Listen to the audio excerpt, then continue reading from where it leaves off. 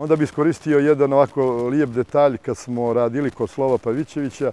Bio je jedno, jedno gradsko lice, ovaj, grad, vrlo jedna simpatična anegdota dok sam radio kod Slova Pavićevića, moga kuma.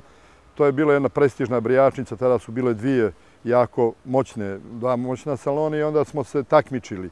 I ja sam imao sreću, radio sam kod Slobo. U jednom momentu dolazio je Franjo, jedan dečko, on imao probleme invalidnog tipa, vuko je nogu, bio je ovaj, tako je rođen bio sa, sa ovaj problemom i bio jako vrlo veliki mangup, umio je, bavio se sa sitnim švercom i u ono vrijeme legalno, pošto je tu bila pijaca, sve je bilo tu oko nas i bio je galantan čovjek, bio je Jack. I dođe jednom prilikom Franjo da pere kosu, pošto smo mi jako puno novca u to vrijeme zarađivali, bili smo e, u trendu, in, za razliku od današnjeg vremena. Brijači su strašno živjeli tada tada brijanje i pranje, za 10 minuta smo radili to, mogo si da imaš dobar ručak, popiješ viski i kupiješ kutiju, kupiš kutiju cigara.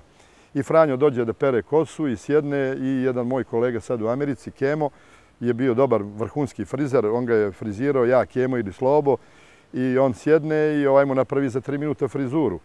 I dok, ga dok mu je pravo kosu, dođe čovjek, jedan ovaj, bogati neki iz okoline Tuzi, znači njegovog govornog područja i kako je Franja, ovaj vidio Franja, ono nikakav sjedne da pere kosu, ovaj kaže, ajde bre, dobro je to, na albanski mu kaže, daj, diži ga. A Franjo je to razumio, pošto je Franjo gradski urbani lik bio.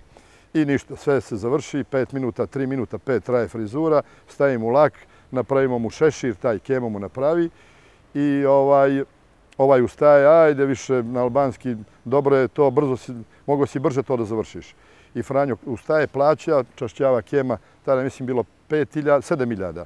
To je, ovaj daje 10, još jedno pranje, molim.